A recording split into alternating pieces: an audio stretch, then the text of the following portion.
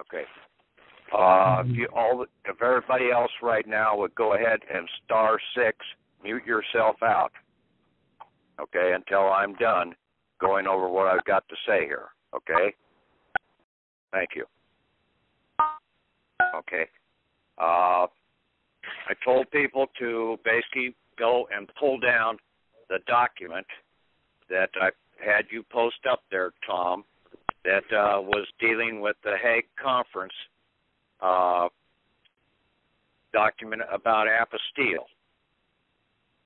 Okay, because I'm going to go over that, and it's got some very important information on that little document.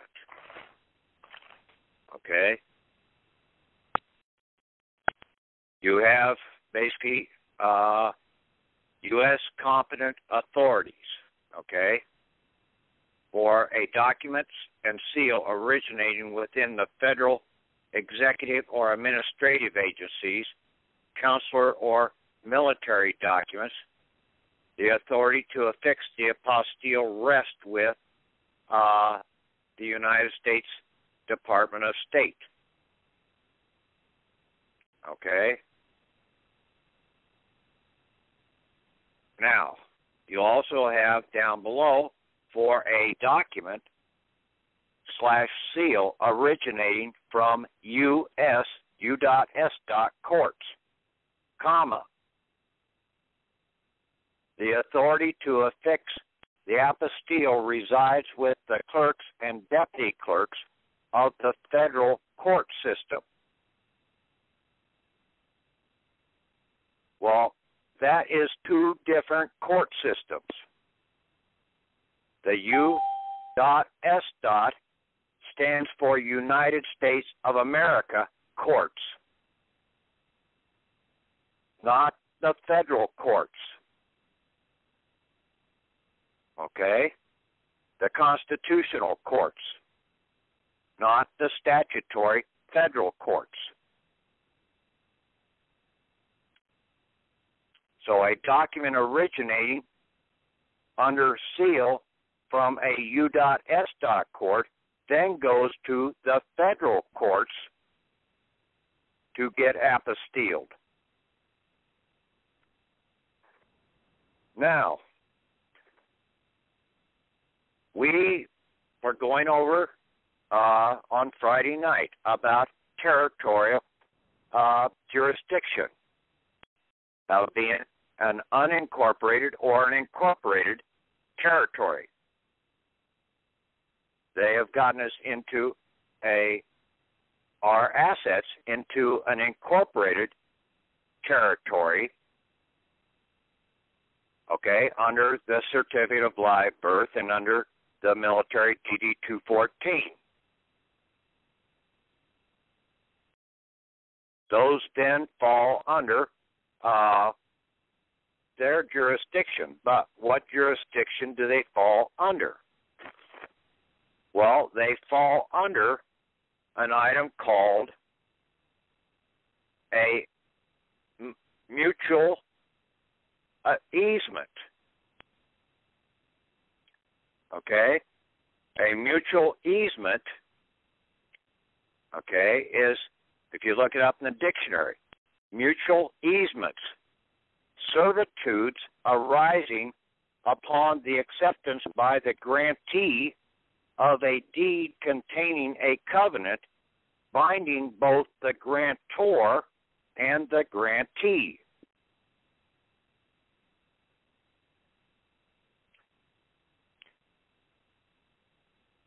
That was what they tried to place us under, was under a territorial servitude and if you've got a grantor and a grantee, you've got to have a third party, and that third party is the beneficiary. So we are in servitude to the beneficiaries.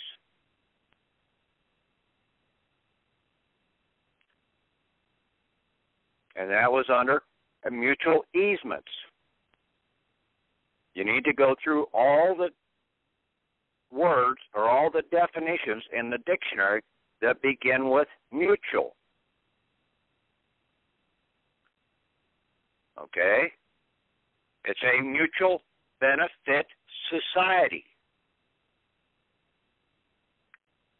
Okay? Our certificate of live birth is a mutual benefit certificate a certificate of membership in the mutual benefit society. Now, the controlling entities of this mutual benefit society are operating under the lodge system. The lodge system you have is the bar,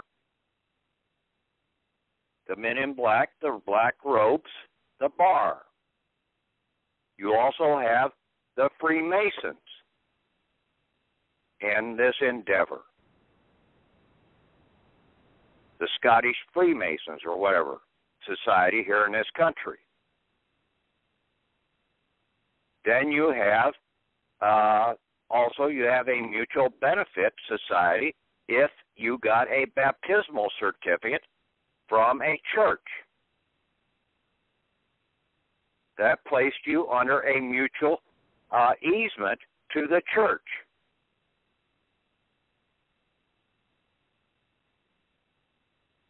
And it was supposed to be a mutual benefit society, that church was. Now, but they're also called a fraternal. A mutual benefit society is also called a fraternal beneficial society. Okay? What is fraternal? Well, you have to break the word down.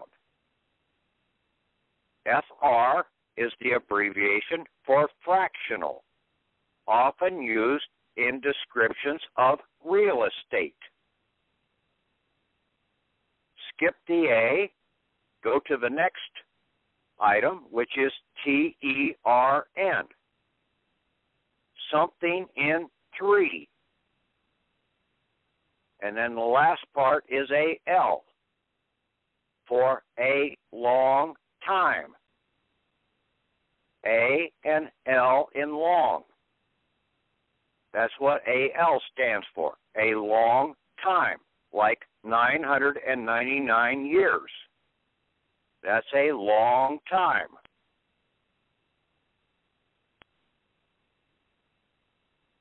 But like in personnel, okay, that is for a lifetime, which hopefully is a long time and not ending tomorrow.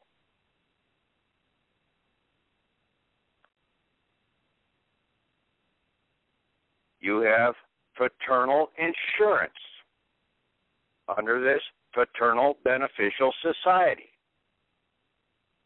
Mutual life, accident, health insurance, which is issued to their members by fraternal orders or societies. So basically, we have a mutual insurance company out here, and that's the state insurance company. But it's a mutual life insurance company because they're holding our assets, our assurance assets, as the initial deposit in against that insurance policy.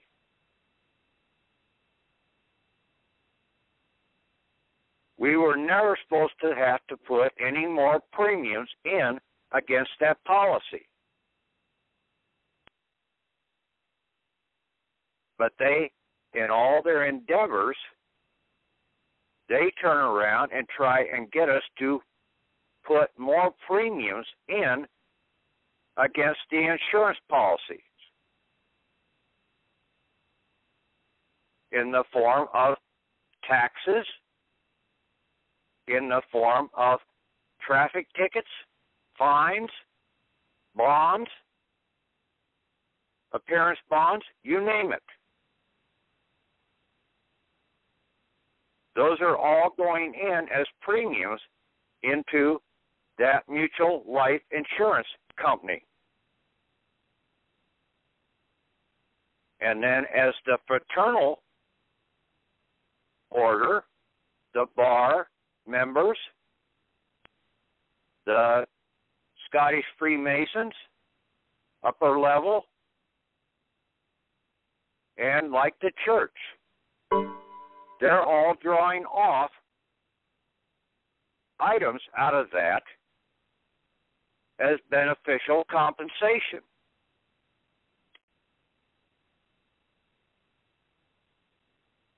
Now, a mutual life insurance company, okay, a life insurance company, which while operating upon an old line basis, and this old line basis goes all the way back to Moses' time. That's what the pharaohs were operating under. A mutual life insurance company against being dead.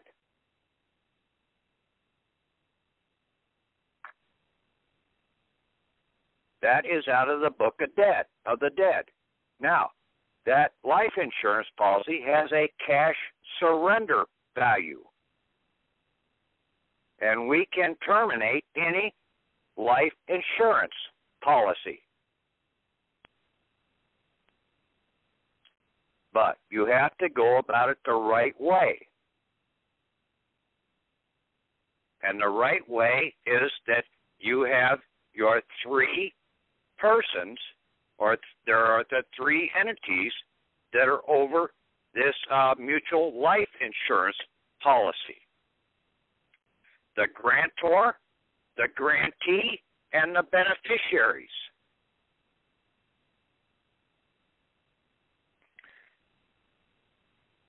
Now, it was done by mutual mistake. You can look these all up in uh, Ballentine's dictionary. Okay? By reason of which each party has done what neither intended. So that's a mutual mistake. Neither your grantor nor the grantee intended this thing to be what it is because you were not given full disclosure.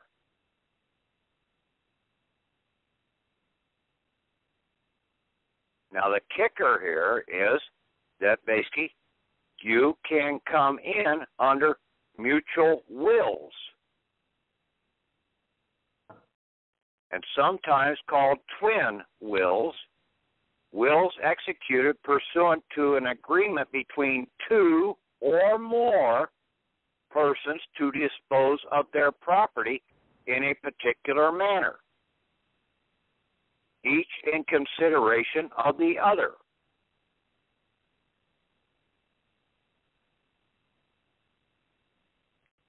And there is a template that you have to modify the template that's in that 600 uh, legal package that I had Tom post up there.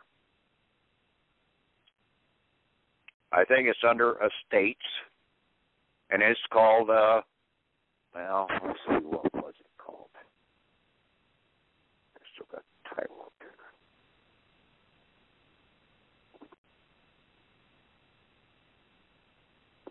it was called a joint and mutual will. But I'm modifying it to be a territorial tribunal will that means it's going to have three parties to this will. The first party will be the grantor. In my case, Patrick, no middle name, Devine. Just as it appears on the membership document. The second party will be the grantee, Mr. Patrick, semicolon, Devine. Now, the part, third parties are the beneficiaries. In my case, one is known as the state of Iowa, and the other, in my case, is the Roman Catholic Church, Church of Rome.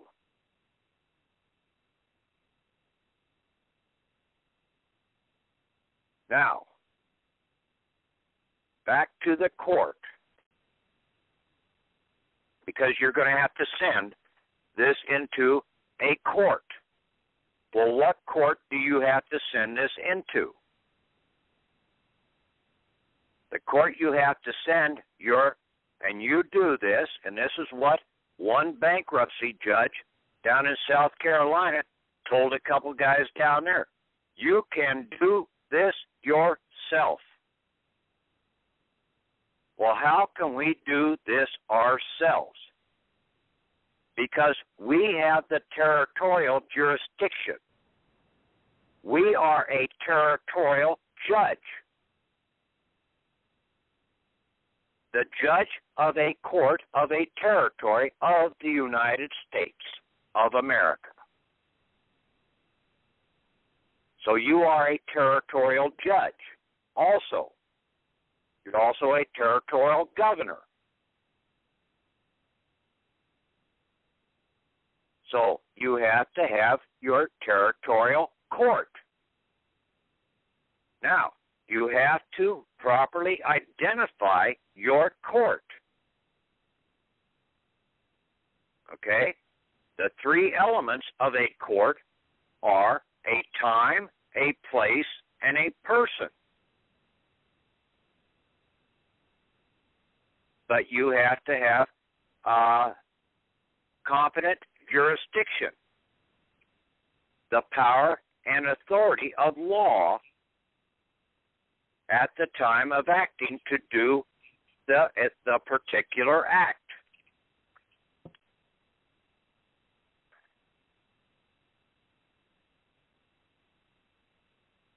Now, I was in one of the definitions, and I'm just not seeing it right now. That basically you have to identify uh, the court, and then you also have to identify the jurisdiction. So, on my uh, document, and you can listen to this over several times so you get this down right. The name of my court is the Patrick Devine Territorial Estate U. Dot S. Dot Superior Court.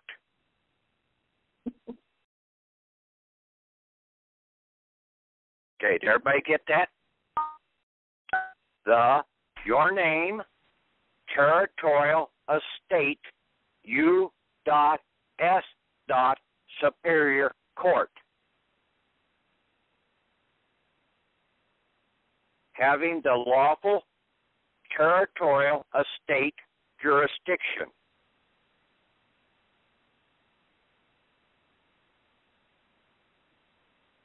Okay? This court is basically addressed and implied in some regards into the Constitution.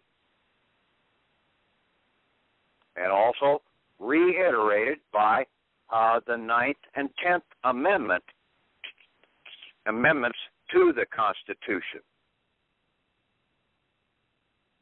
Your free people, your name, territorial estate, U.S.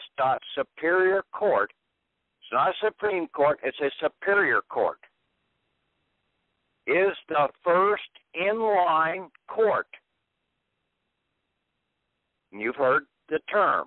First in line is first in time.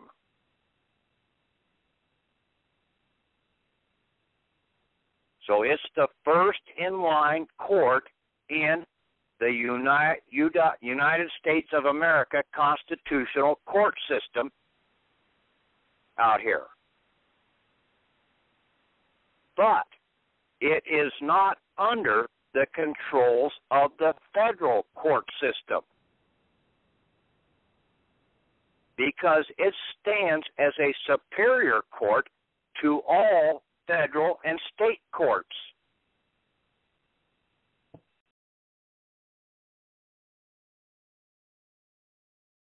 You, when you do this right, you stand superior to all federal and state courts unless you have actually caused physical harm to somebody out there. None of their codes apply to you. The codes of law only apply to the federal and state court systems.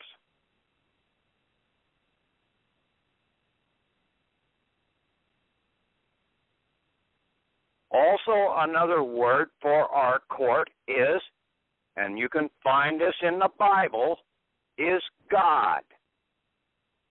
As both have the superior authority to issue lawful and just judgments dealing with our, in our case, American territorial estate jurisdictions.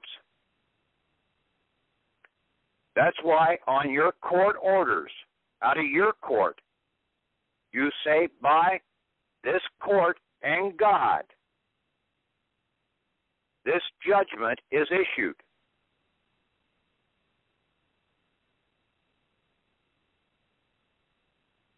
And see, that puts you in a total superior authority standing over these fictional federal and state courts.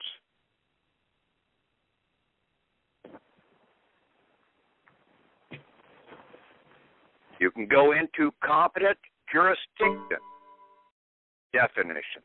Okay?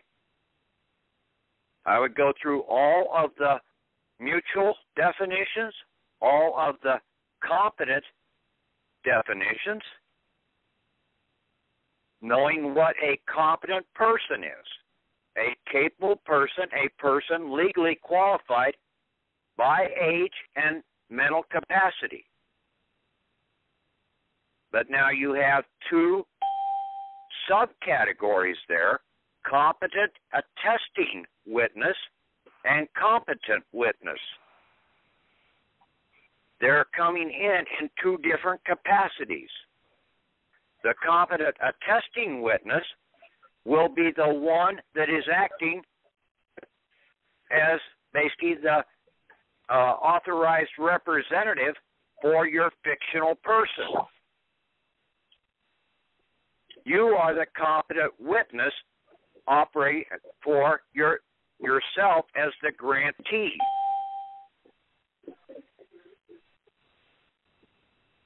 A competent court, a tribunal having jurisdiction. Well, our territorial court is a tribunal having jurisdiction. So it's a competent court. A court legally constituted. Our court is legally constituted. A court, the judgments and proceeding of which are not open to collateral attack. When our ruling is done, it's done. Just don't get carried overboard and do something that basically is not right. Okay? A court created without color of authority. That's what a competent court is.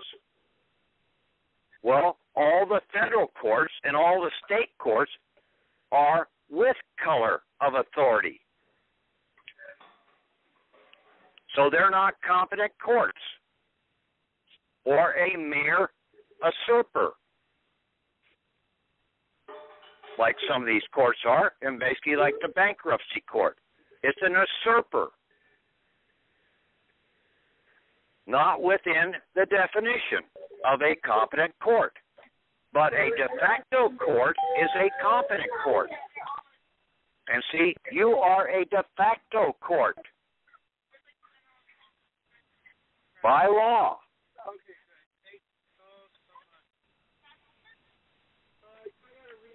Court of general jurisdiction. a term a, a term sometimes equated to or with court of record, a court of extens, extension, extensive, although not necessarily limited jurisdiction. A superior court. Doesn't say a federal court, doesn't say a uh, Supreme Court. It says a superior court. Well, there's only a couple other states out here that have tried to usurp using the word superior in their state court system.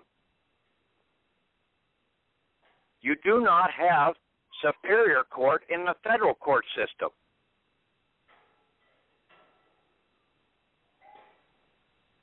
Because that one is reserved for us, for our superior court because we have God on our side.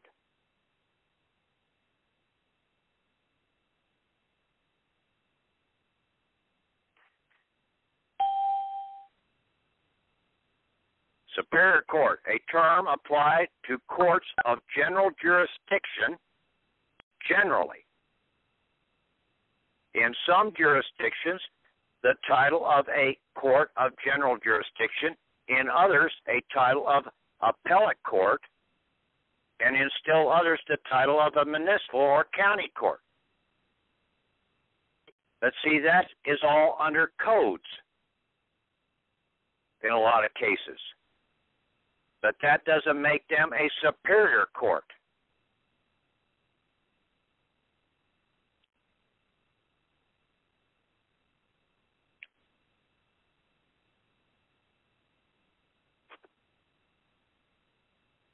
Now, you have to be competent to be superior. Yeah. Okay. Uh, so uh, they had mutual wills. Okay. Wills executed with a. We can barely hear you. Back off, Steve, please. Okay. I told everybody to mute out. Okay. Uh, I'm sorry. mutual wills, okay? Wills executed with a common intention on the part of the testators, irrespective of whether there is a contract between them.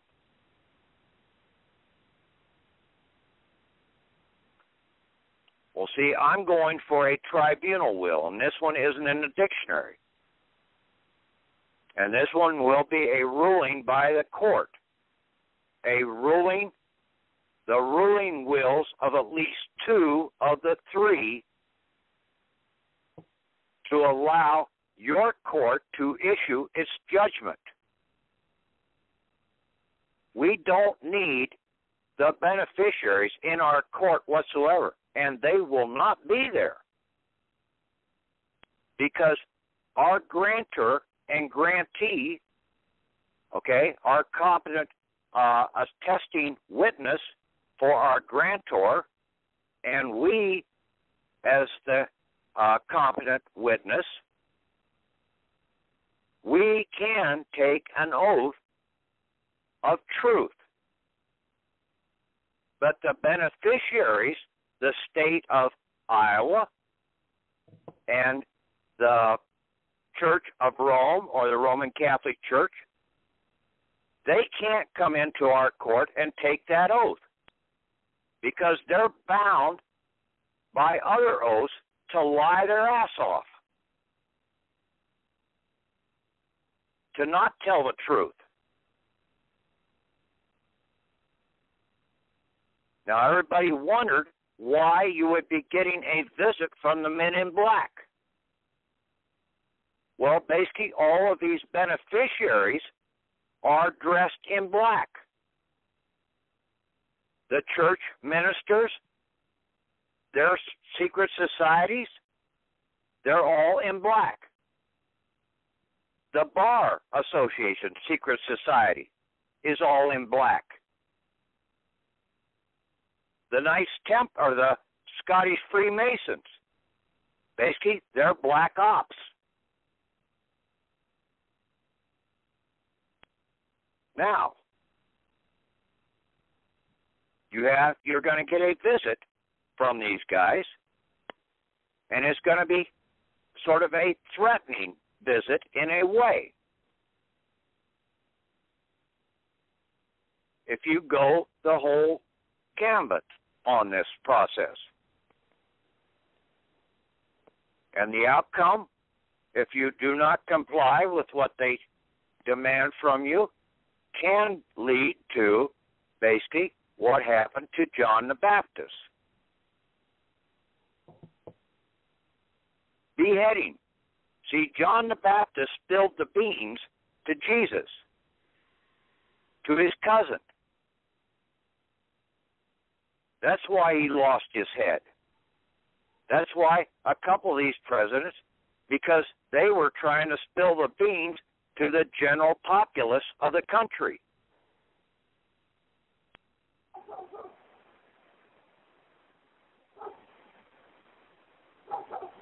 And in some regards, one of the guys said, You know, I think that we are already on the blacklist. Well, I can see that we probably are on the blacklist from half the stuff that I've done out here. But that doesn't stop there. We have still protected rights. Now, we will probably get a visit when we cash out our uh, mutual insurance policies, and they will come and tell us basically, keep your mouth shut because you basically expose our trade secrets and certain ramifications will come down upon you. That is what the men in black will come. In other words, you're gonna t- they're gonna tell you to keep your damn mouth shut because you expose them you expose their trade secrets and now the cat's out of the bag. See, I'm trying to do this ahead of time. That's what the man Jesus tried to do ahead of time also. Before he went and went the route of getting out.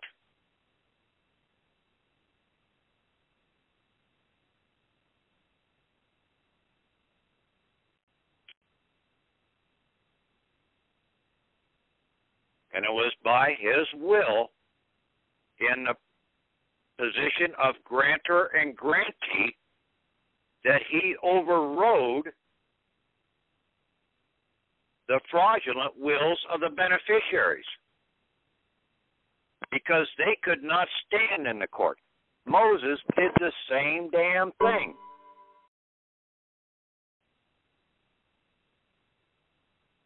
But it took him a little while to get his ducks in a row, just like it has us. I've tried to send court orders into the court, but I was operating under, I didn't have the proper title, and I didn't have the proper uh, identification for my jurisdiction.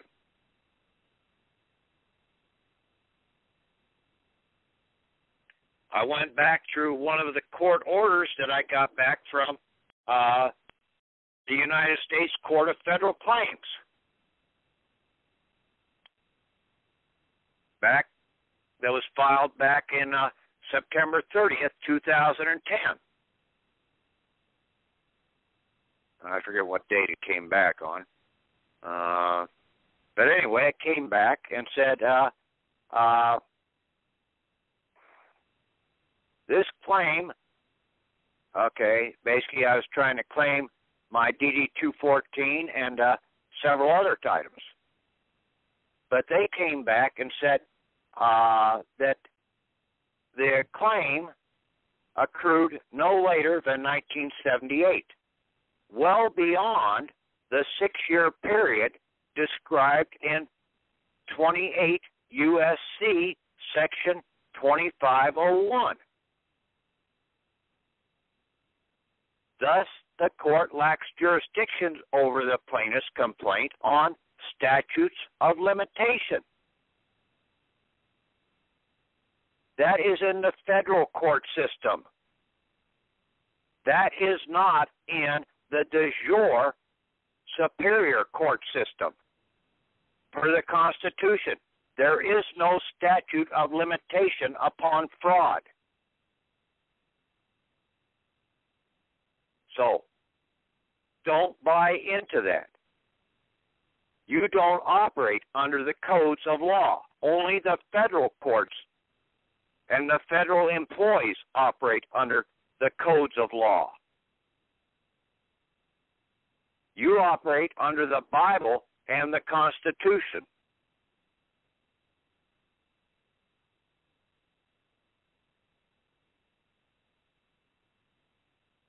See, sometimes you have to go back and look and see what the court is actually saying to you.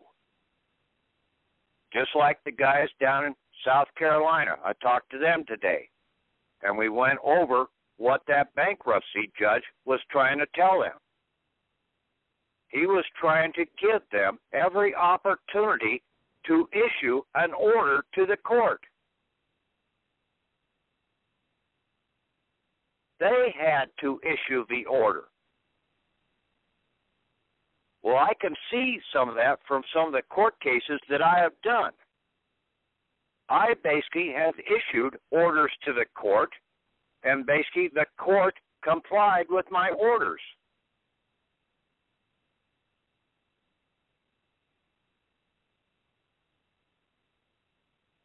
But I didn't need to do half of what uh, the item was traffic tickets. We can override them either by pardon as a territorial governor or by way of the court, our court, to issue an order to their court because we're a superior court and we can even order that judge into chambers.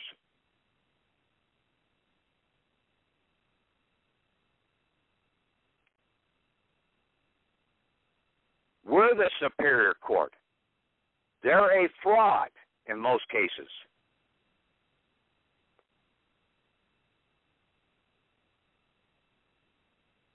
But you have to utilize it and not be belligerent about the whole process. Because then that shows that you're not really competent, that you are just a belligerent. And belligerency begets belligerency.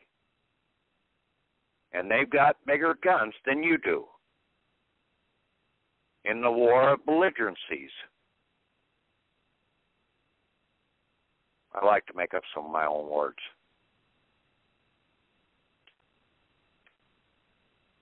So, you have to do a will, and you basically present it into your court, and then your court can rule upon it and make the uh, uh, issue the judgment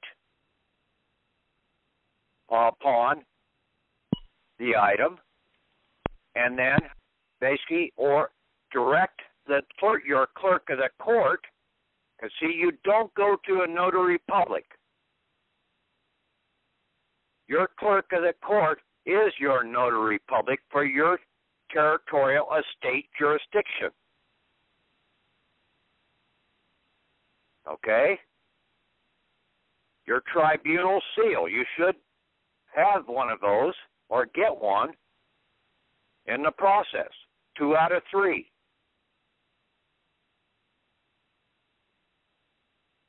And then that's your court seal. These are private. This is a private court. You can keep your private records. So it's a court of record. Private records. You have your clerk of the court write out the orders and issue the orders to the other court or to the other judges.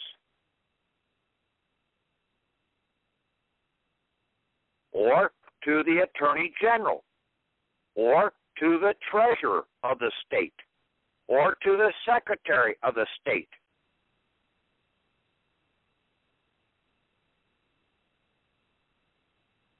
As a territorial estate, U.S.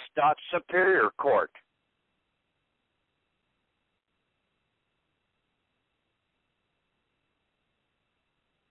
Now, if they do not comply,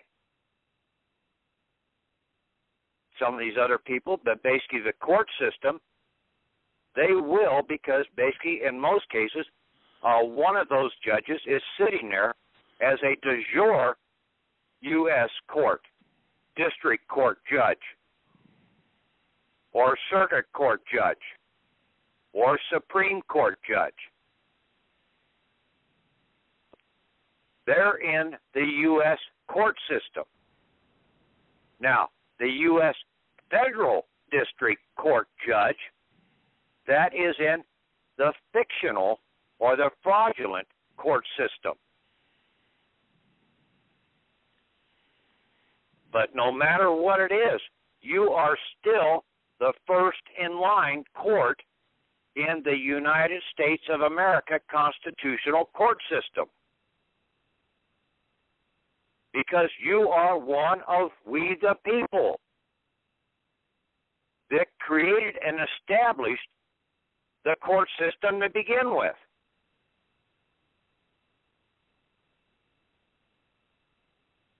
And basically, a creation cannot override the creator.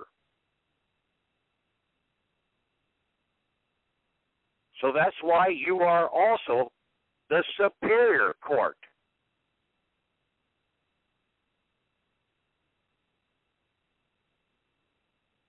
But just don't go out there and harm anybody because then you're now throwing yourself at their mercy in the real law system.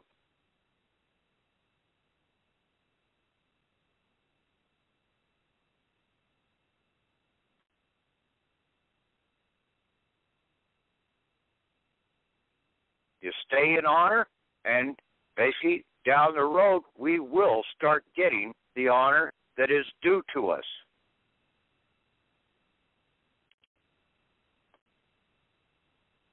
But you have to fight for it.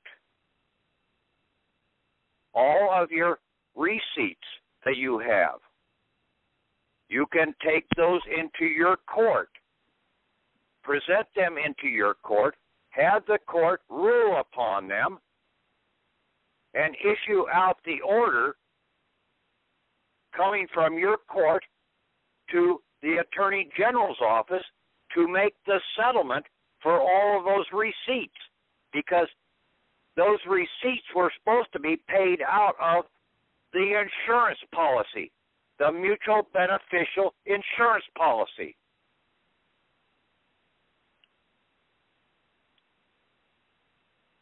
It was supposed to be a mutual benefit for the grantee as well as the other state and church beneficiaries.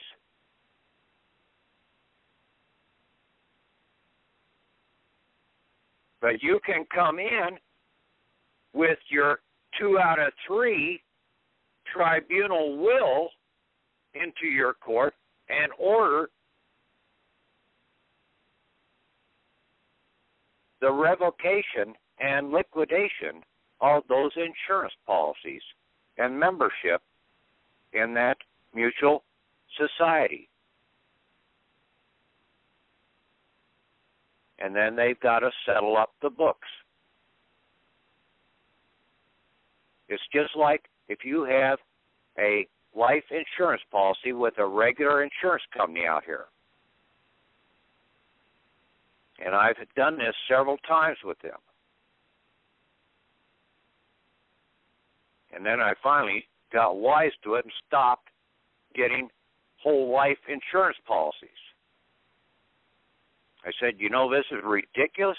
for me to pay money out of my back pocket that basically I'm not going to have any benefit from after I die. After I die, I don't give a shit what happens. I'm dead.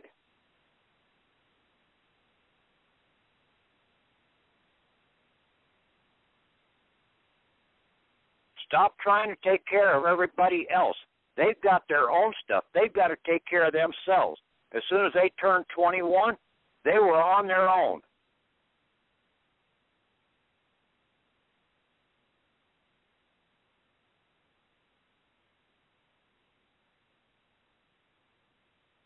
Now you can give a friend, a neighbor, a helping hand now and then. Okay? But that is not what I'm talking about here. These in, the worst thing that ever happened to this country in 1887 was when they brought insurance into this country. And see, that is the deceptive side of banking, the usury side. The bankers themselves, if they were operating with just currency of exchange, did not harm this country. But the insurance side of the banking system has basically destroyed this country.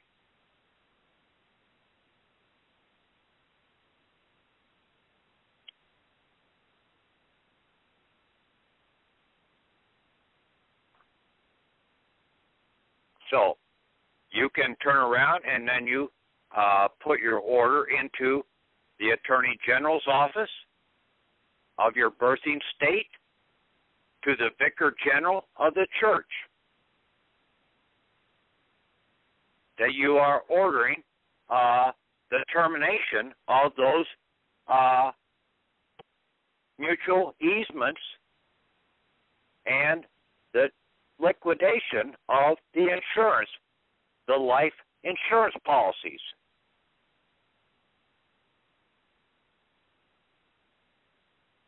Because if you don't take those life insurance policies out, they will stay on the books for 999 years.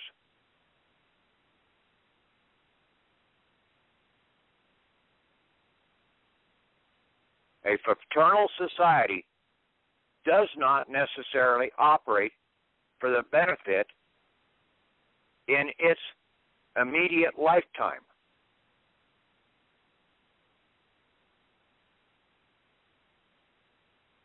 And basically, that's how they've operated and basically snuck everything in, in bits and pieces. What they did back in uh, 1871 or 1868, whatever, with the 14th Amendment didn't necessarily benefit the guys that were alive at that point in time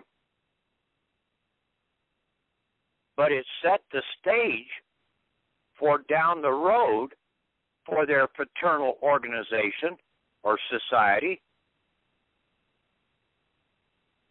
to control the people later on.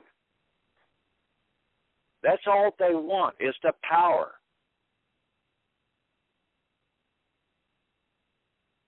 And then they've got all their games that basically they can uh, deceive people from their money, like the game of taxes, like the game of traffic tickets, like the game of uh, whatever, because the people don't know how to play the game.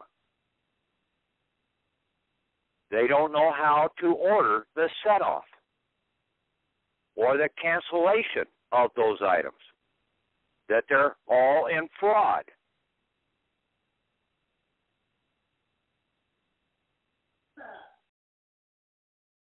So, hopefully that gives you a little understanding of how to take care of your receipts to turn around and you do a court ruling, a court judgment that basically these are to be set off and paid out of the mutual uh, insurance policy.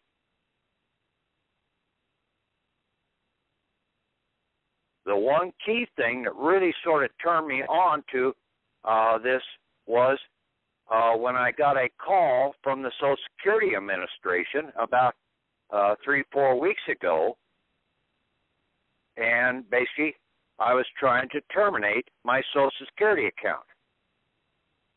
Well, basically, just like a whole life insurance policy that I borrowed money from,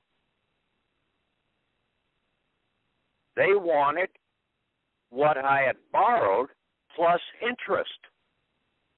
And I said, wait a minute.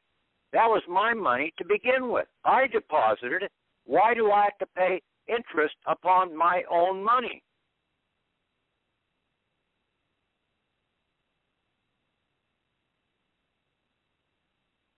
See, that's some of the type questions that you people have to really ask to base to get a good understanding of what is really going on.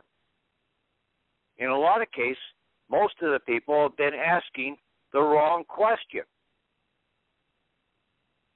The wrong why. And then they've been going to all the codes which do not apply to them to try and find remedy. Your remedy is real simple. You hold your court, you make the judgment, and then you issue your order. You know what is right and wrong. They don't. They're only trying to operate for their benefit.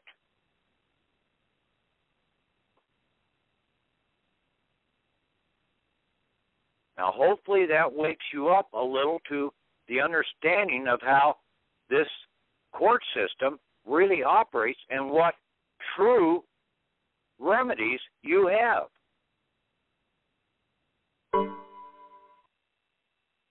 I'll reiterate that again.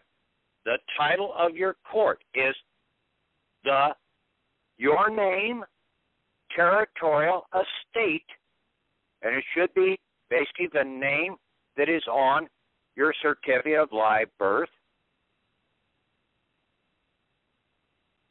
U.S. Superior Court, having the lawful territorial estate jurisdiction.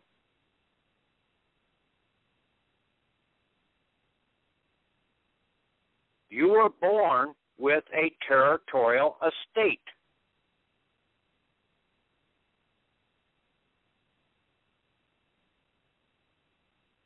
because you are a territory. Hold up your right hand and your left hand and stick out your index fingers to the right and to the left. I've said this before. Basically, that finger now basically is your meets and bounds of your territory, your bodily bodily territory.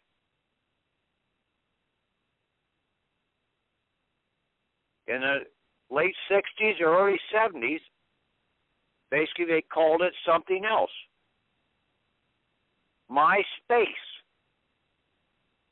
You entered into my space.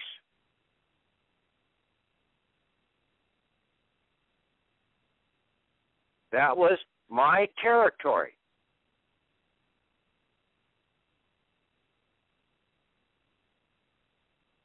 You're only allowed into that territory when you come in peace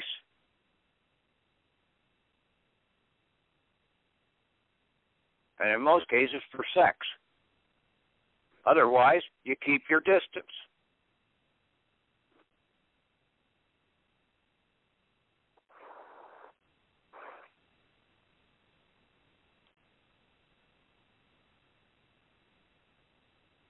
And like I said, your court, oath is basically very simple. I swear to tell the truth. And see, the beneficiaries cannot take that oath in your court. So you don't even have to worry about them ever coming into your court or even being present, you know right offhand that they can't tell the truth because they don't know the truth. And even if they did know the truth, they definitely ain't going to tell it.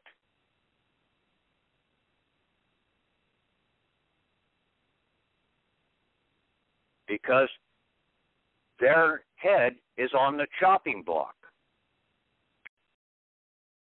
Just like John the Baptist. They can't spill the trade secret.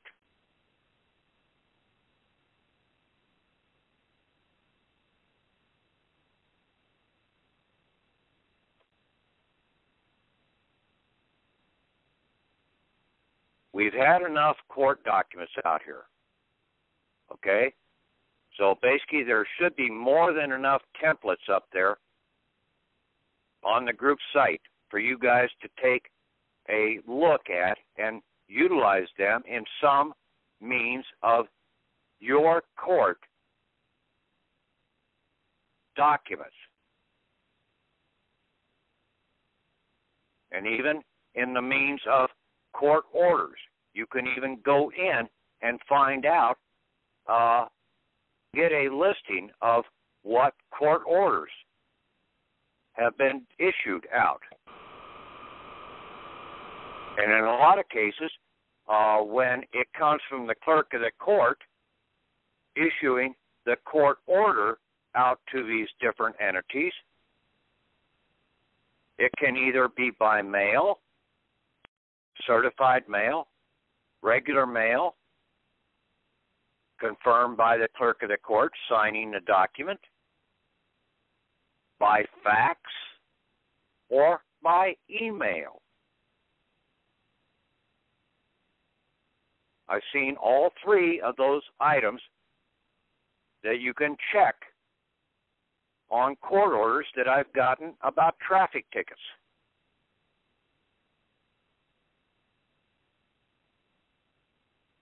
From the clerk of the court.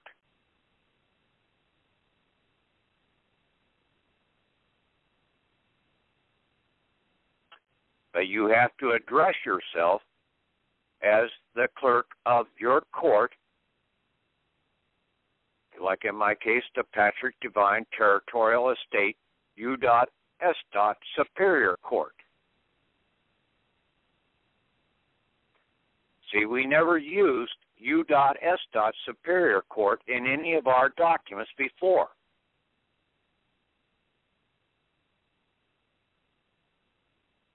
And you'll never see a U.S. Superior Court in the court system because that belongs to us, the people. That is the true people's court.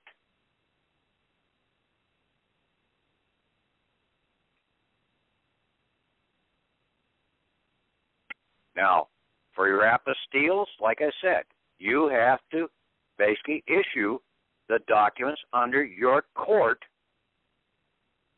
as a your court document, U.S. court document.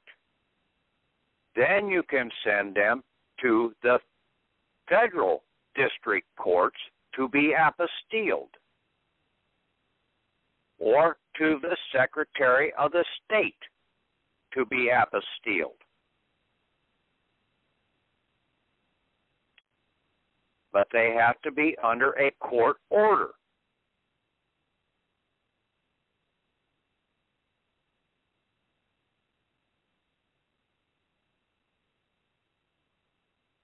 Now, the warrants also if you're going to send one of those into the treasurer, you have to come in under a court order to go along with that warrant.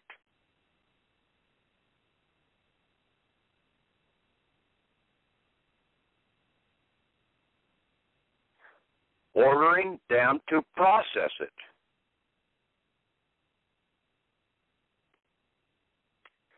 See, they need to have the order. These guys do not operate unless they have an order. The The warrant itself is not the order. The order has to come from the court.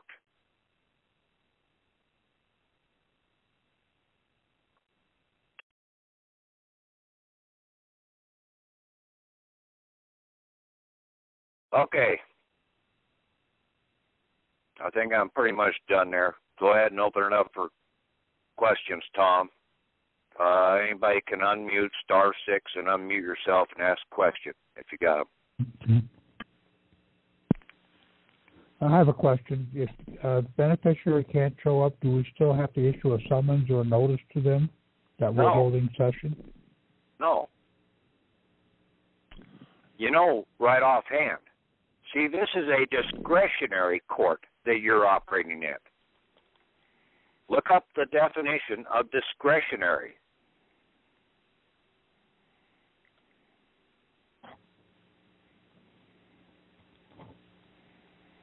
Discretion, okay? The equitable decision of what is just and proper under the circumstances, the liberty and power of acting without other control than one's own judgment. The power or right conferred upon an officer of acting officially under circum, certain circumstances according to the dictates of his own judgment and conscience, uncontrolled by the judgment and conscience of others.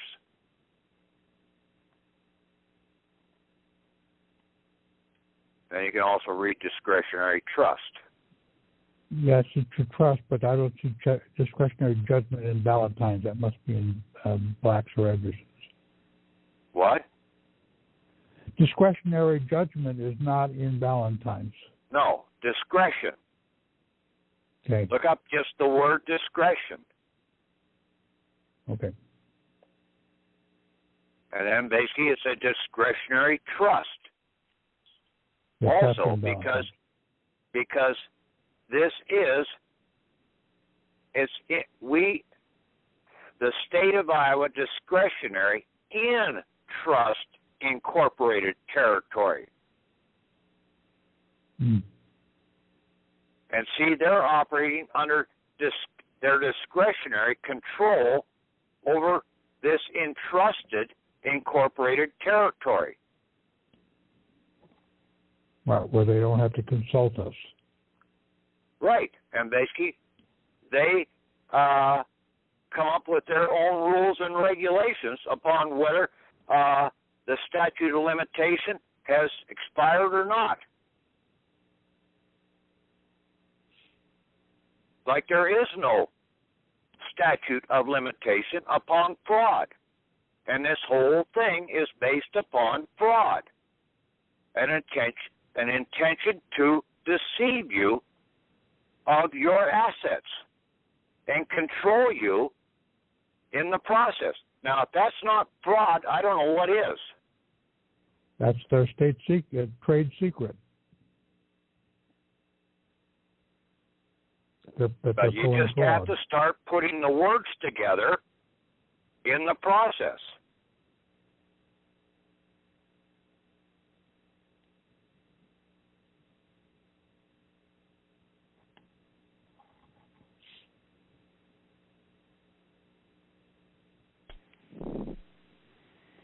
And see, you can issue a writ of D E T I N U E to the U.S. Marshals because you're coming in from a U.S. Superior Court. Ah. So we can do These our own guys, of these assistance. guys have been waiting for us to wake up So we come can do in, our own in our court capacity. Okay.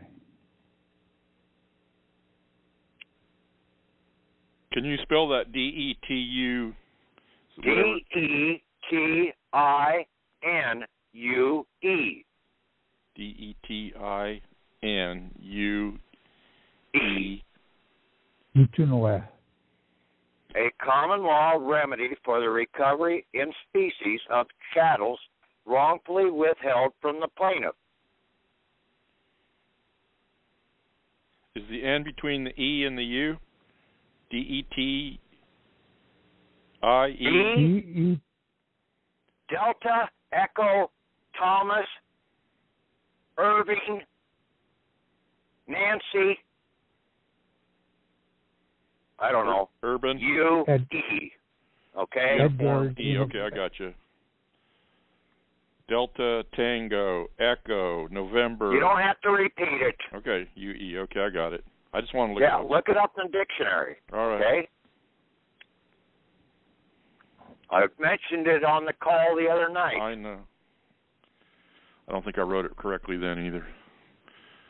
Well, I got it basically now. get in the dictionary and basically you'll find when you try and find the word even if you misspelled it, you go down through until you find something that sounds right in the definition.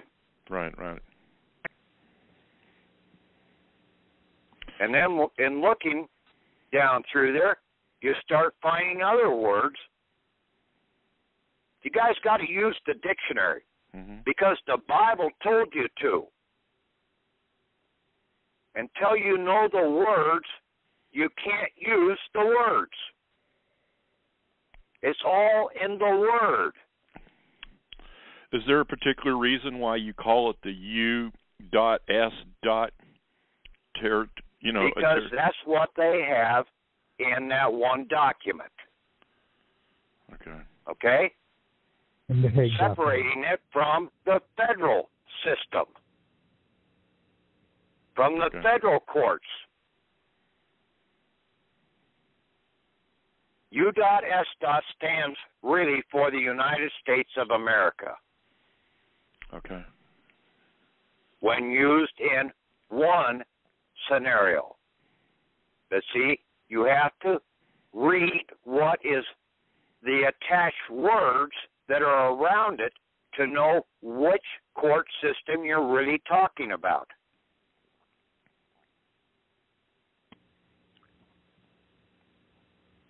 Right. It doesn't include the word district. No, it doesn't include the word federal. Okay. The district courts are called out. The territorial courts are called out. Okay. The circuit courts are called out. The Supreme Court's called out. But the federal courts are not called out in the Constitution.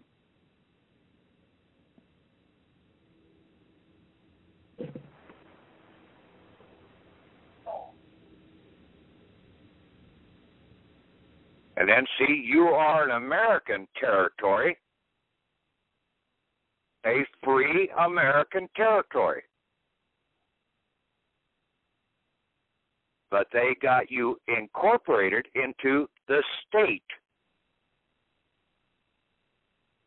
Even though you were born within that state, you are a territory, a body territory that is free to roam throughout the whole United States. That means you can't be bound to one state. Does it? Right. Yeah. You can't be free if you're bound to one state.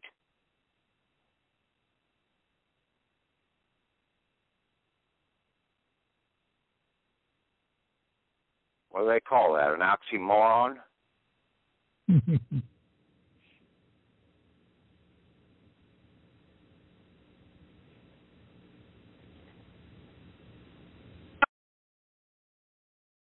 yep. The use of words that don't make sense together. Yeah. Dissolution of a corporation, the breaking up. Winding up.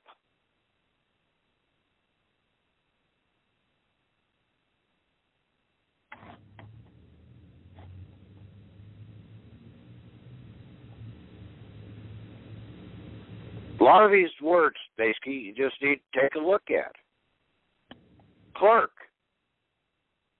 You need to really look at, see what it says about a clerk, and then a clerk of the court.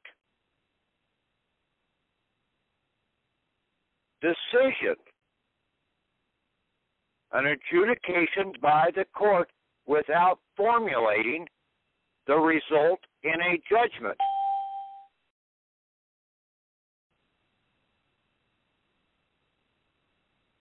So you can issue a court order by the decision of the court. You don't have to necessarily have a formal judgment.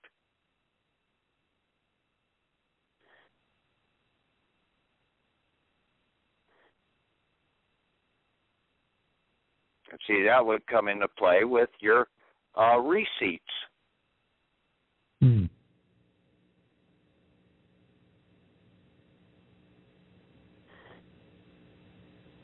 So you got to think outside the box. You got to start really thinking, okay? I know it's hard for a lot of people out here because you've been groomed not to do it. To go along to get along.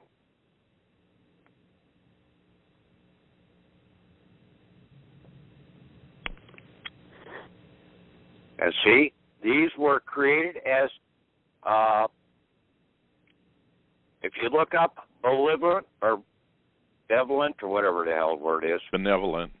benevolent corporation, a non-profit corporation, an E L E E M O S Y N A R Y corporation.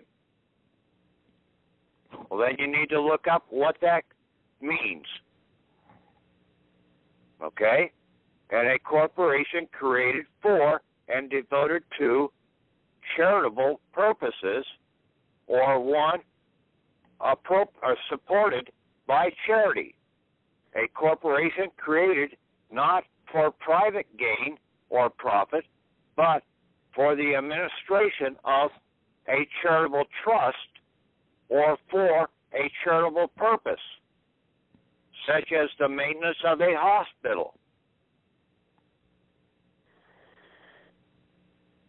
Well, see, in a lot of ways, when Roosevelt set this thing up, these mutual beneficial items, they were set up with that intent.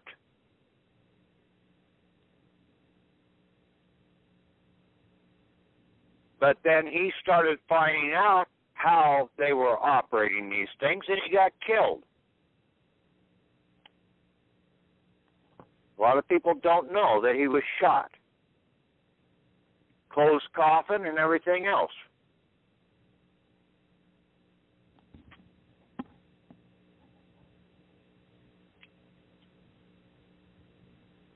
Some guys do things with good intention and then turn around and find out that their good intention turned around and backfired on them. Woodrow Wilson. Even Eisenhower, and he was a real shithead to begin with, but that was beside the point. He realized that basically he unleashed the military juggernaut in this country. Are you saying Teddy Roosevelt got shot or FDR? FDR. Yeah.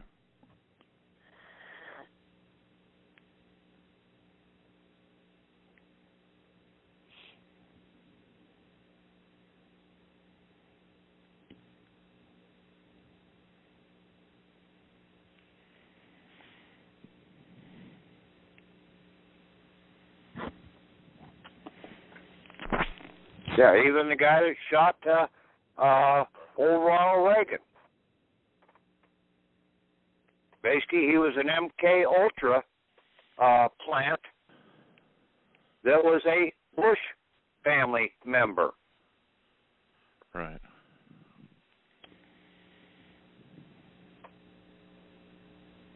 In, in fact, uh, at at the the night before Reagan got shot, John Hinckley's brother was having uh, dinner with another one of Bush's brothers.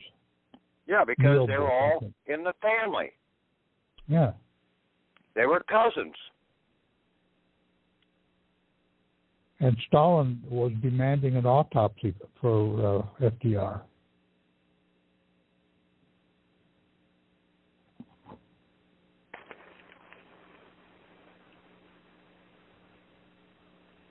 Yeah, because he didn't want Truman in power. Right. Because Truman was totally with the bankers. Absolutely.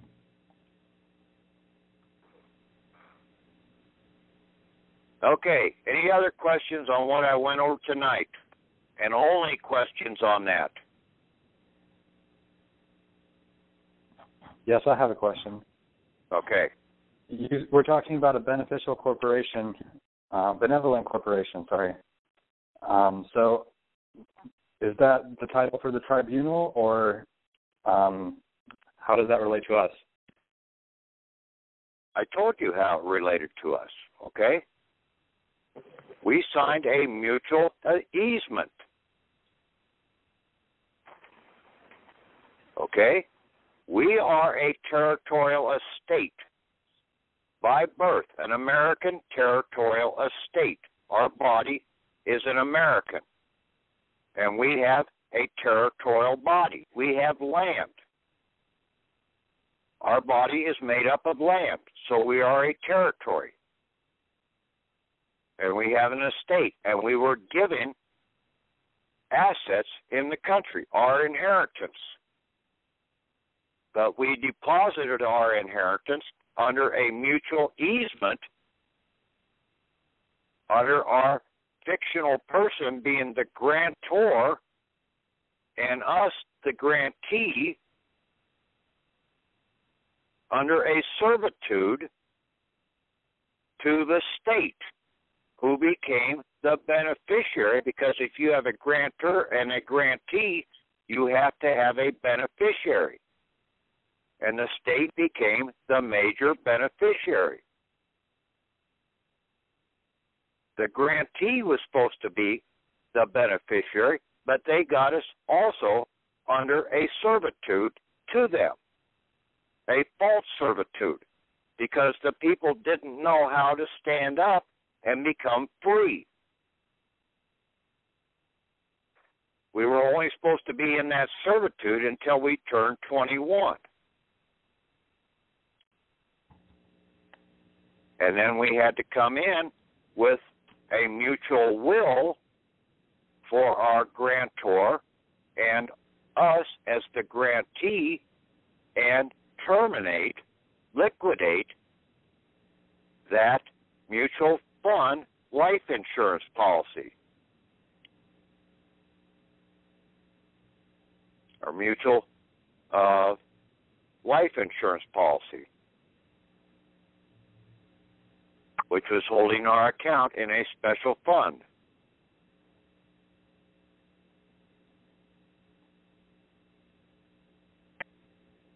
So this mutual will, it doesn't sound very much different from the writ of detinue. So I guess is it the same thing? Like I said, the document is up there for a joint and mutual will that you have to submit this will into your court. Your court is the one that's going to make the judgment on that will. Then, out of your court judgment, you direct your clerk of the court to issue an order to whoever, like the Attorney General, to shut down that mutual uh, life insurance policy because he's a trustee over those mutual uh, life insurance policies.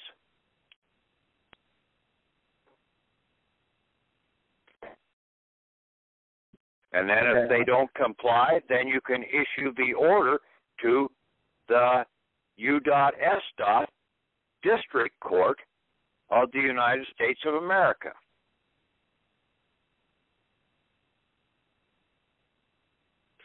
And so, is it at that point that you would issue the writ to the district court? You would issue a writ of detent, or whatever that word is. Detenere. That's the writ that I would issue, not a writ of replevin or anything like that.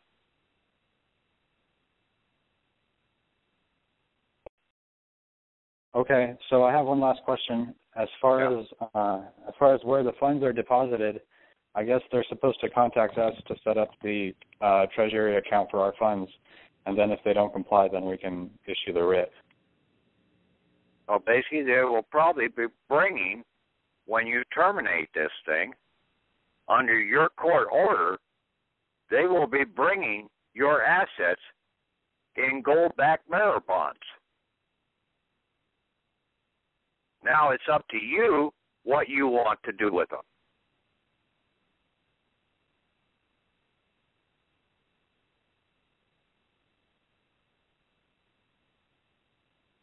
You at that point in time can turn around and put them into the de jure treasury of the United States of America, getting them completely out of the control of the DTC.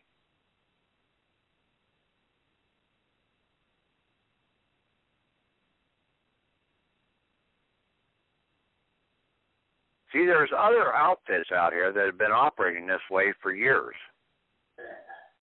The Amish, they basically never got incorporated into the state because they do not have state uh, certificates of live birth. But they do have their uh, recording into the Book of Life at the county land records so that they can lawfully claim their American inheritance.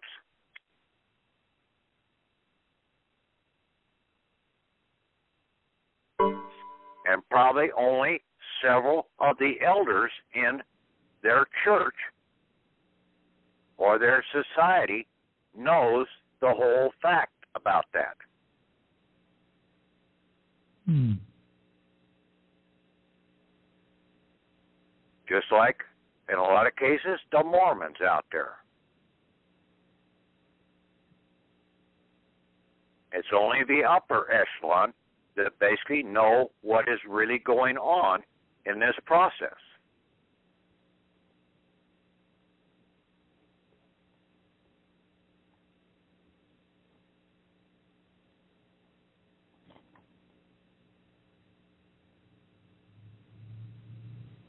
Like the old story goes about King Solomon.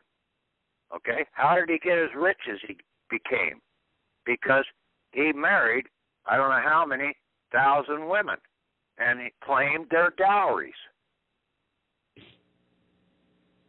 Then he took a little bit of that dowries that he had and set them up in a place that basically they had all their wants and needs and then put a bunch of eunuchs around there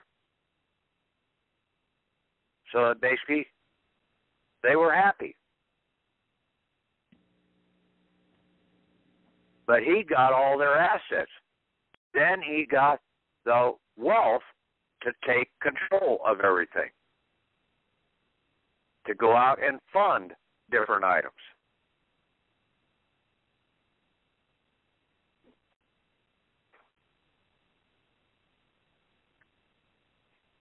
You got to read between the lines of what the Bible is really trying to tell you.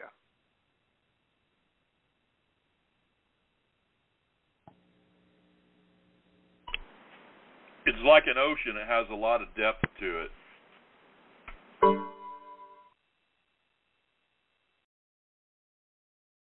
Not really. Once you start clearing the fog off the ocean, basically now you can see what the hell's out there.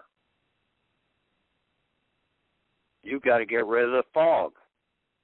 Fill in the holes that are out there. And that's what that's why I kept trying to tell people it's called the Holy Bible. Because it's full of holes and you have to fill the holes in.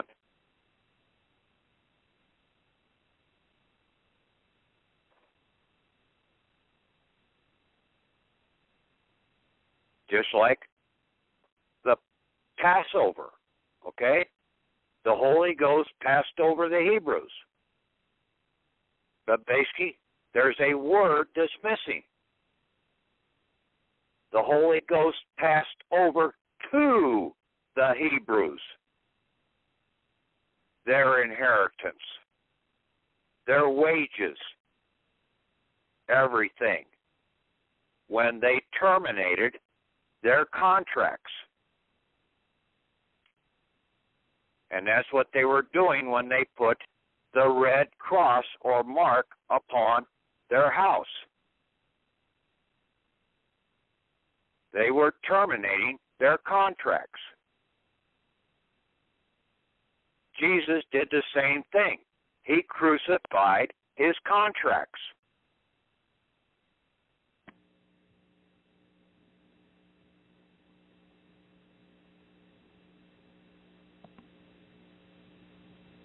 I think I went over that Friday night Yes. about the good thief and the bad thief.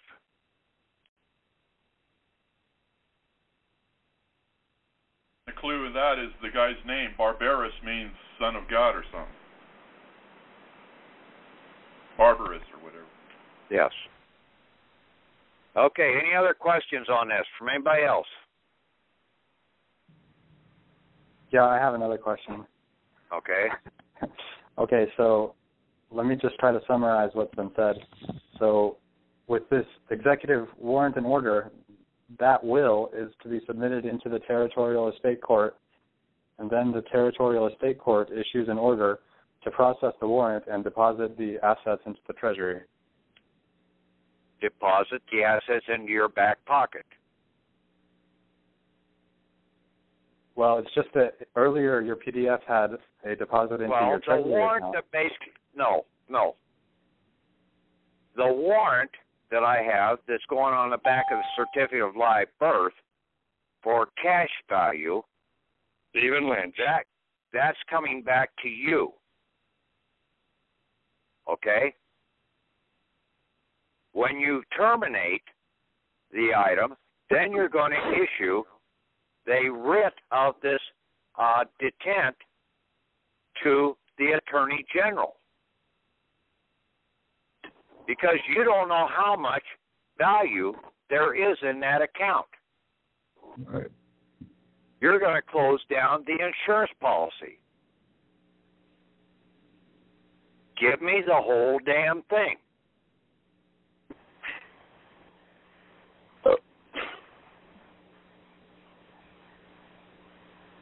See, you got to think about this.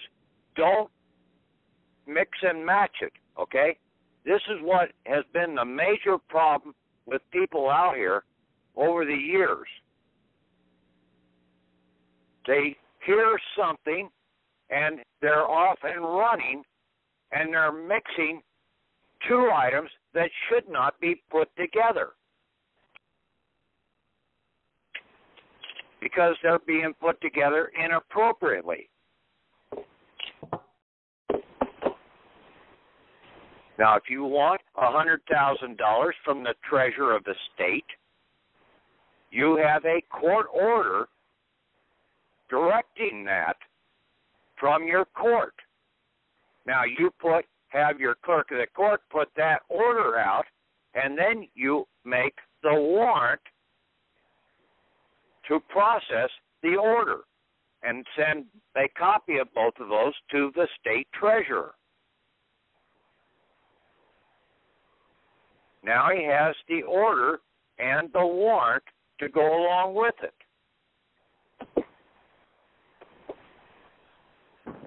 But if you're closing down the whole account, then you do that writ of detinue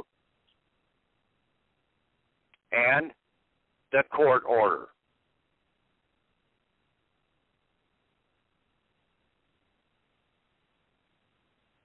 Signed by your clerk of the court based upon your court ruling. and you're going to have to set up your own court uh, uh, record file because you want your item to be a private court of record.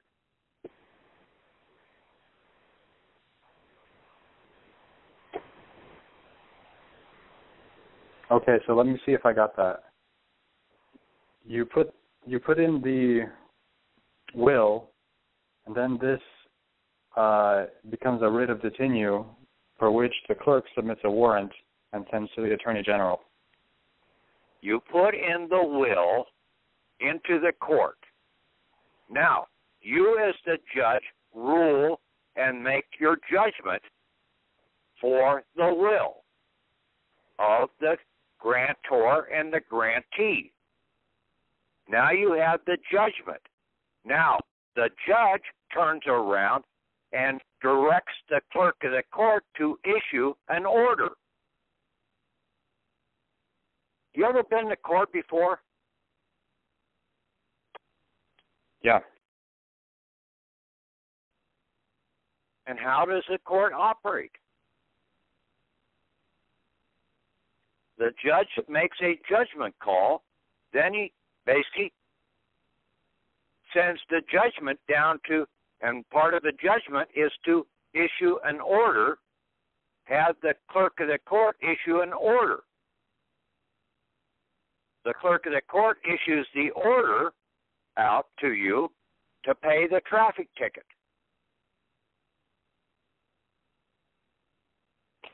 Or whatever.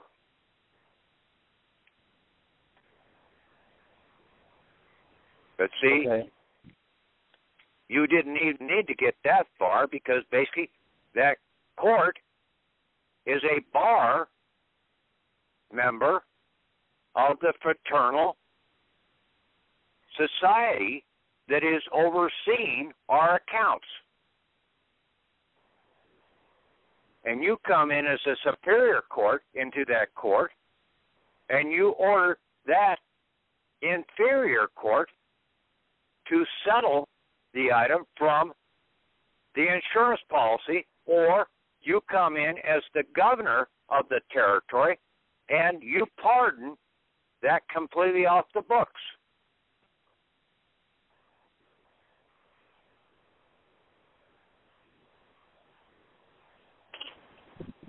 Okay, it make it makes sense to me now. And I guess we were talking about on Friday this executive warrant. I guess that's a totally separate thing for immediate release.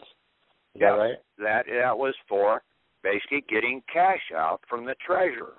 Okay, to do that on the back of the uh, that it was not uh, there to terminate the account.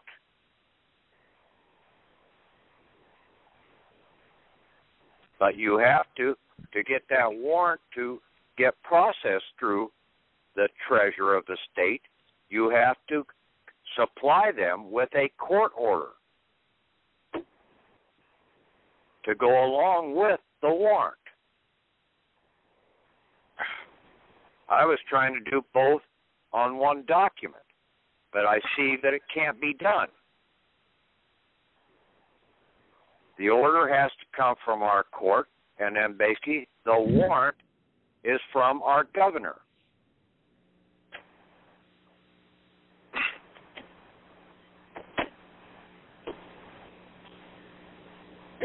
You have the capability of many different hats in this process, all operating under the same name or similar name.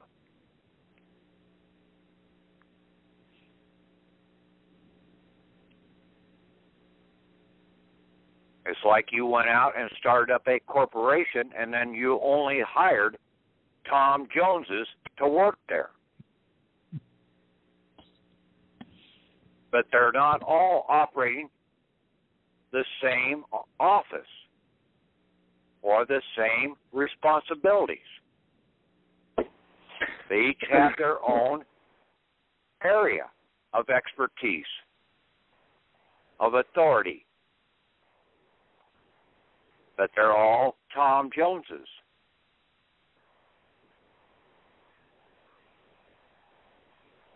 And that's one of the problems that most people have is trying to wrap their mind around this in this process.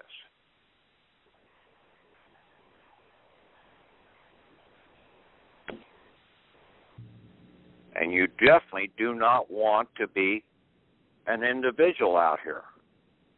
Because, and that's what basically they try and get you in all of their court actions is to be an individual. An individual is claimed to be a nomad. one who has uh, no claim to anything. He's just a roamer. Yeah, I saw in Ballentine's there was a phrase that said, "The church is more to be preferred than the individual."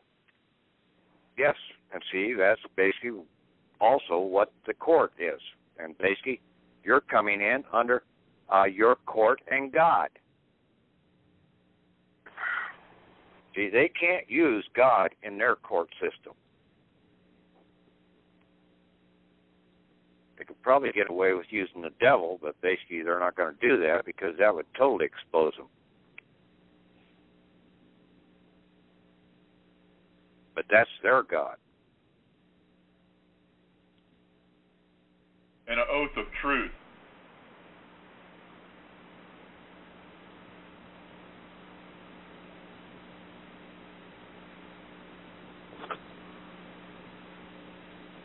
Okay, I have one last clarification I want to ask. Okay. So we need to get the three executive seals of authority if we want to. Can't hear you. Okay, we need to get the three executive seals of authority. So we want the apostille, and now per the Hague Convention, we're going to the federal court to get that apostilled. So should we issue an order to the federal district court to get that apostille Yes. for us? Yes. Yep. You have to turn your documents into uh, your U.S. Superior Court documents first. Okay, that these documents are issued out of your Superior Court. U.S. Superior Court. Now, since they came from a U.S. court, then they can be processed by the federal court system.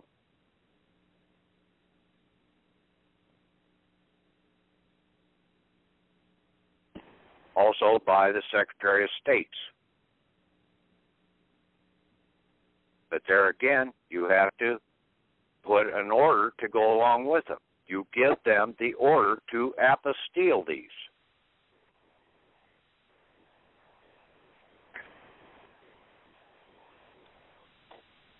Okay? Okay, and we can do the same with the county if we don't have our county land record. Is that right? If you don't have your what? The county land record where our document was recorded? Your you mean your book and page number or whatever? Yeah, sure. Well, basically you uh, go through and uh, uh, the Secretary of State, you can basically put the pressure upon them. See, those county recorders all work under the jurisdiction of that Secretary of State. Mm. Who controls all the seals for the state? The Secretary of State. So basically, that county recorder's office seal is also controlled by the Secretary of the State.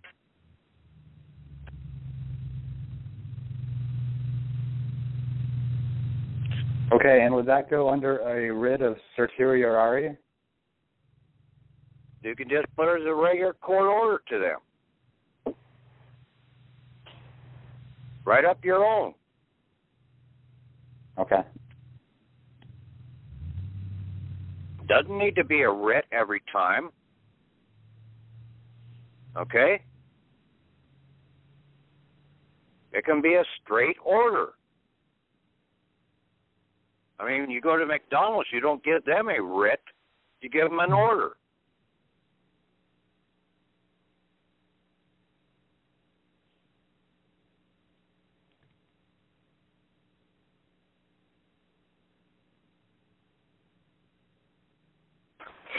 I'm not really trying to belittle you, but I'm trying to get you to think.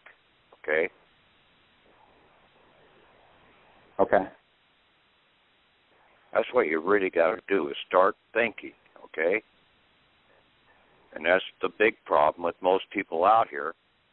They really want somebody else to tell them what to think. it's the truth. And I'm not going to do that. You've got to do your own thinking. I can't think for you. Just like I can't shit for you. There's certain things that everybody has to do on their own.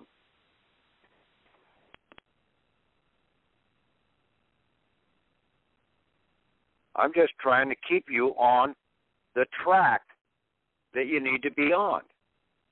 Just like Jesus tried to came for one reason and one reason only to show us the way and the path to be on, to come out of the system.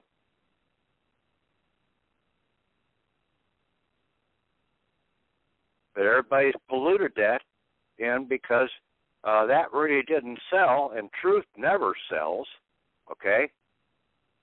Deception, fraud, killing, blood and guts, that really sells. And basically, that's what everybody loves to see. So basically, they rewrote the story to incorporate all that blood and guts. And basically, the people have bought this for well over 2,000 years.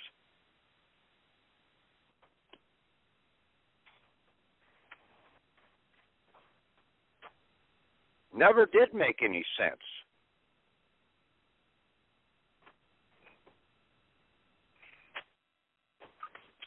And I started seeing that when I was five years old. And see, that's when, uh, in a lot of cases, about that time frame, that's why in a lot of the cartoons that are out here that are directed to the children, you'll find a hell of a lot of truth. But the parents and the teachers have messed the the kids' minds up after that.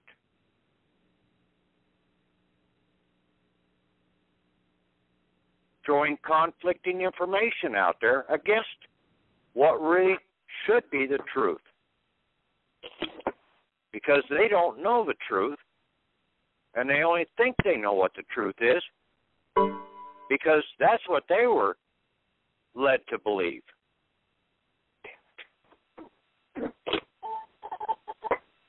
And you definitely don't go against your grandparents because oh shit, basically hmm. you're you're now bad mouthing your parental lineage. You're not giving honor to your father and mother anymore. That's not what that really meant. But see, people don't even understand that one.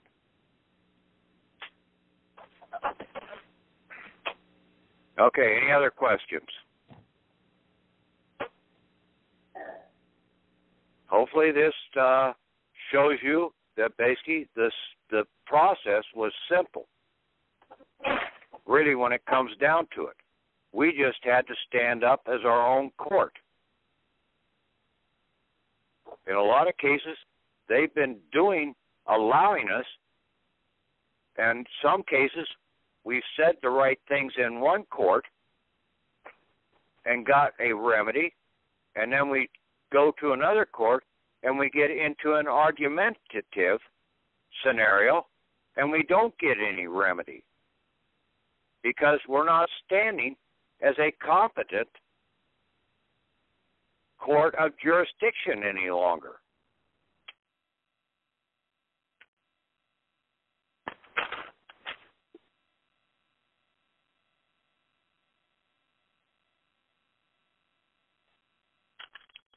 Patrick, you said that we're a competent court, and a competent court is a de facto court. Right. I thought we were a de, de jure court. No, do, let me see. What the hell does it say? Ah, uh, where now is that competent court?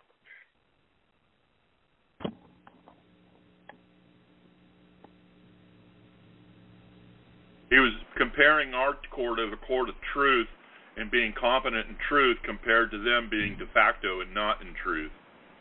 It's it's a court created without color of authority, not a mere usurper, which is.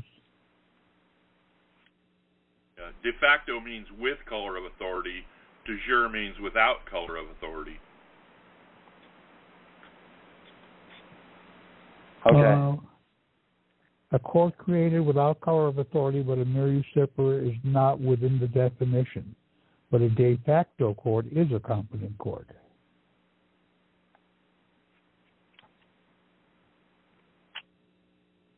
Yeah, it has the word fact in it.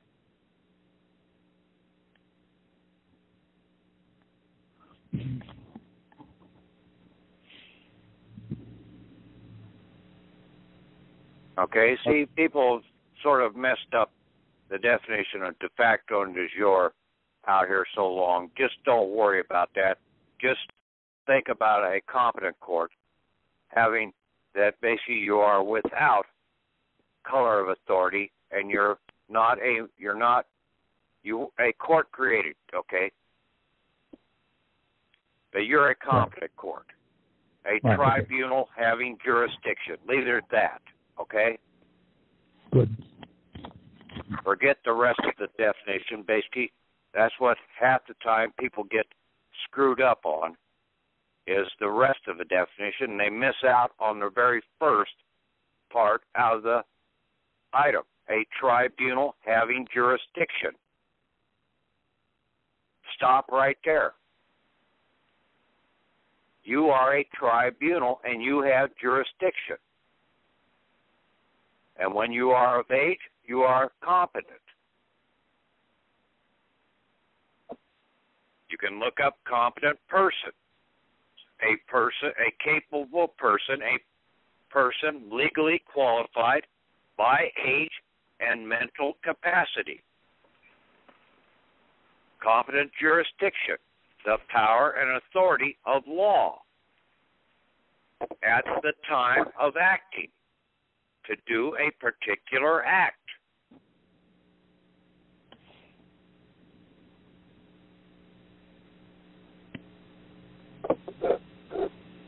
Board of Competent Jurisdiction. See, competent jurisdiction. And I just read you what competent jurisdiction said. And then it's got to have a competent person in the judge's seat.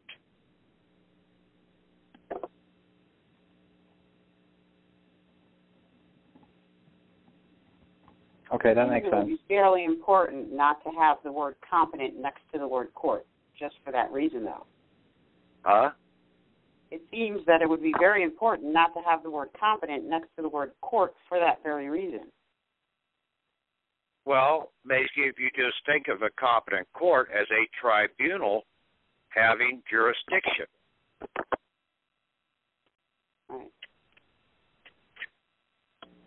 And leave off the rest of the definition that's there.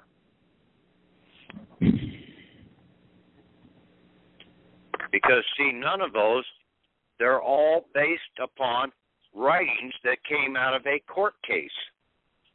Mm. There, none of that for a competent court is out of uh, the American jurisprudence.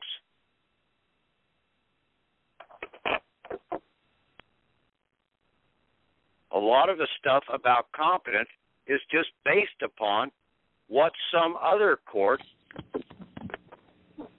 made a discretionary decision. Mm. So these court sites could uh, actually end up clouding the issue. In some cases, yes. Okay. That's what you have to look at. Where did this definition really come from?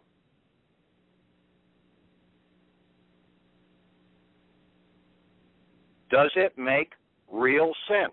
Does it hold water?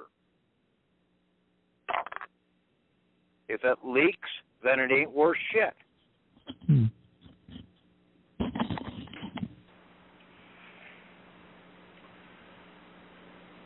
And I don't know how many times that's in the damn movies. Does it hold water? I know I've heard that in several movies. Oh yeah.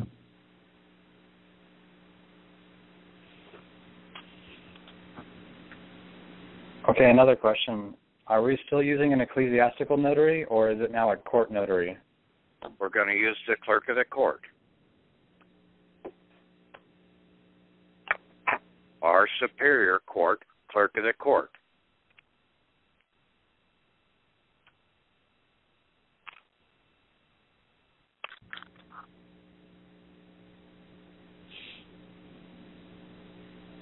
So he has to notarize it.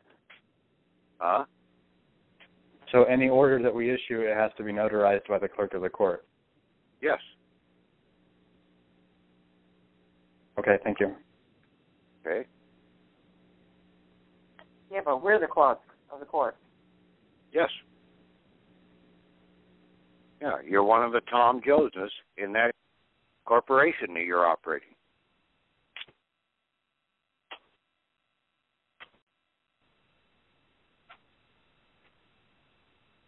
There's a song that says that. I'm every woman. yeah. Now, there's also the song The Name Game, too. You can come up with different names if you want to do that. Just run them through your court. This is the name of my clerk of the court.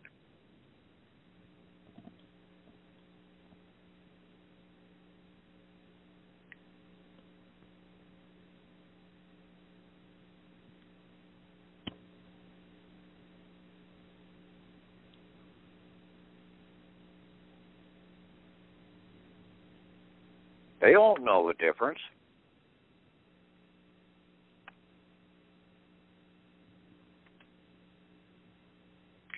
But you better have it in your records. So that basically, if they question you, you can say, well, here, I've got it documented in my court record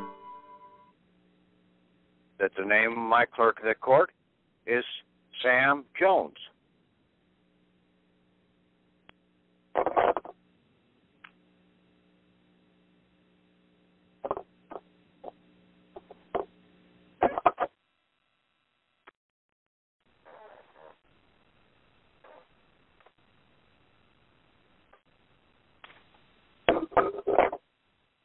But I just keep it simple and just keep using the same name or same uh, semblance of your name in all the different capacities.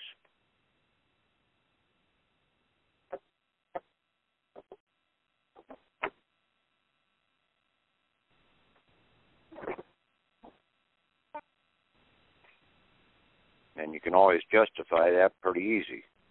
But if you put a different name on there, then basically you're going to have to have some documentation uh, to cover that.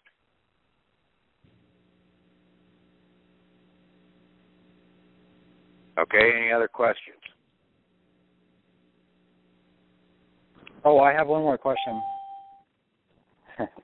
um, we're going to have to apostille our ID documents with the federal courts again. Is that right? Yes. Okay, thank you. Right. Instead of uh, the ecclesiastic, change it to uh, your clerk of the court. Your superior clerk of the court, or your clerk of your superior court, however you want to phrase it. U U dot S dot superior court. And if need be, put the whole title down there. Uh, clerk of the court for uh, the court for the Patrick Devine, uh, in my case, uh, territorial uh, U dot S dot Superior Court.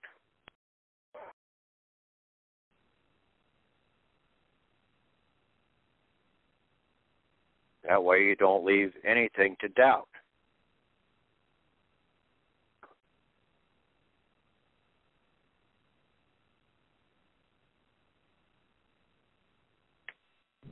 Okay, thank you so much, Patrick. Okay. Okay, that it? Uh, looks like it, then, Patrick. Thank you very much. We'll talk to you guys later. We'll get to work on this. Thank you. Okay, good night. Bye.